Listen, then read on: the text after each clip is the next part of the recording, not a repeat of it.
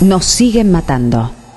Muchas de las que hace justo un año gritábamos ni una menos, hemos sido calladas por la violencia machista. Ese reloj que señalaba que cada 30 horas moría una de nosotras sigue andando, acelerando su marcha. Volvemos a gritar con nuestras voces y con las voces que quisieron borrarnos. Por eso, el 3 de junio volvemos a las calles para volver a decir ni una menos, porque vivas nos queremos.